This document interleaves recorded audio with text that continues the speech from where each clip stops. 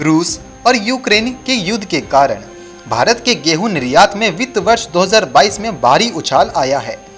वैश्विक बाज़ार में कम आपूर्ति के कारण गेहूँ की कीमतों में हुई बढ़ोतरी के कारण अचानक भारतीय गेहूँ की मांग बढ़ गई है। भारत से अब वो देश भी गेहूँ लेने लगे हैं जिन्होंने पहले कभी भारत से गेहूँ नहीं लिया। मार्च 2022 तक भारत ने सात दशमलव आठ पाँच मिलियन टन गेहूँ का निर्यात किया है। यह पिछले वित्त वर्ष के दो दशमलव एक मिलियन निर्यात से बहुत ज़्यादा है।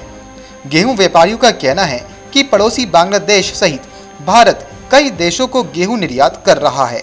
वित्त वर्ष 2022-23 में भी गेहूँ निर्यात में यह तेज़ी बरकरार रहने की उम्मीद है। बांग्लादेश के अलावा भारत ने दक्षिण कोरिया, श्रीलंका, ओमान और कतर सहित कई अन्य देशों को गेहूँ निर्यात किया है। भारत ने ज़्यादातर गेहूँ 225 से 335 डॉलर प्रति टन के हिसाब से बेचा है। मुंद्रा और कांडला पोर्ट पर गेहूँ कार्गो की बहुत भीड़ लगी है। रूस और यूक्रेन में युद्ध छिड़ने से दोनों देशों से आने वाले गेहूँ की सप्लाई ठप पड़ गई है। इससे वैश्विक बाजारों में गेहूँ की कीमतों में भारी इजाफा हुआ है। रूस और यूक्रेन मिलकर उनतीस फ़ीसदी गेहूँ का निर्यात करते हैं। गेहूँ निर्यात को लेकर भारत की गेहूँ की सबसे बड़े आयातक देश मिस्र से बातचीत चल रही है। गौरतलब है कि मिस्र यानी कि इजिप्ट, दुनिया में गेहूँ का सबसे बड़ा आयातक देश है। पहले वह रूस और यूक्रेन से गेहूँ खरीदता था, लेकिन युद्ध के कारण अब वहाँ से गेहूँ की सप्लाई नहीं हो रही है।